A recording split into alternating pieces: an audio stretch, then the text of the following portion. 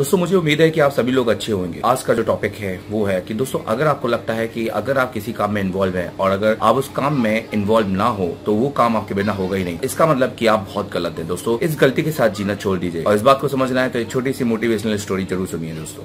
एक बार की बात है, एक परिवार में एक आदमी था और उसको बहुत घमंड था, जिसको लगता था कि उसके बिना उसका गुजारा होगा ही नहीं। मतलब परिवार में कमाने वाला से वो आदमी था उसको लगता था कि अगर मैं नहीं रहूँगा तो मेरे घर में कमाने वाला कोई नहीं होगा। ये लोग मेरे बिना कुछ नहीं कर सकते हैं। गाँव में एक महात्मा आए, वो प्रवचन के लिए आए थे तो वो आदमी भी उस प्रवचन को सुनने के लिए गया। और जब महात्मा सभी लोगों को एक चीज़ बता रहे थे, तब उन्होंने बताया कि कुछ लोगों को अभिमान होता है कि उनके बिना, उनके परिवार का गुजारा हो ही नहीं सकता है, जबकि भगवान हर एक को उनके भाग्य से अनुसार देता है। सब लोग चले गए प्रवचन सुनने के बाद तो वो महात्मा के पास गया। उन्होंने बोला कि, भगवान, जो आपने बताया कि किसी के बिना किसी का काम नहीं रुकता है, अगर आप बताइए, मेरे घर में कमाने वाला सिर्फ़ मैं, और उसके बाद अगर मैं नहीं कमाऊं, अगर मैं नहीं रहूँ अपने घर पे, या मुझे कुछ हो जाए तो मेरे घर वालों को क्या होगा? तो महात्मा जी ने कहा कि तुम गलत सोचते हो। हर आदमी अपने भाग्य के अनुसार ही भाग लेकर आता है। हर आदमी अपने भाग्य के अनुसार ही जन्म लेता है। तो आ, कोई भी किसी के बिना उसका जीवन अधूरा है। ऐसे ये सोचना गलत है कि किसी के बिना किसी का जीवन अधूरा है, ये सोचना गलत है। उस पर वो आदमी बोलता है कि मैं नहीं मानता।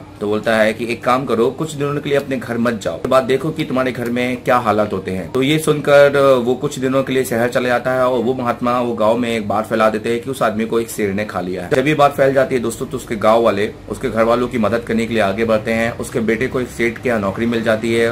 सब गाँव वाले मिलकर उसकी बेटी की शादी करवा देते हैं और कुछ दिन बाद जब वो अपने घर वापस आता है चुपके चुपके और जब वो देखता है कि सभी लोग खुशहाल हैं, वो अपने घर वालों से माफ़ी माँगता है, बोलता है कि मैं गलत था, कि मेरे बिना तुम लोग का क्या होगा, तुम लोग का कुछ नहीं होगा, जबकि तुम लोग बहुत खुश हो और मैं गलत हूँ इस बात पे और ये मुझे जो अभिमान था, ये आज टूट गया है। दोस्तों, इस मोटिवेट कहानी से मैं आपको ये समझाना चाहता हूँ कि अगर आपको इस बात का घमंड है कि आपके बिना कोई काम रुक रहा है और आपके बिना कोई किसी का जीवन रुक रहा है तो इस घमंड को अपने दिमाग से निकालिए और इस घमंड के साथ जीना छोड़ दीजिए क्योंकि ज़िंदगी में अगर एक रास्ता बंद होता है तो हज़ारों रास्ते खुल जाते हैं किसी ने सच कहा है कि किसी के बिना किसी का काम नहीं रुकता है thank you An ISO 9001 and 2008 Certified Institute. Asia Telecom.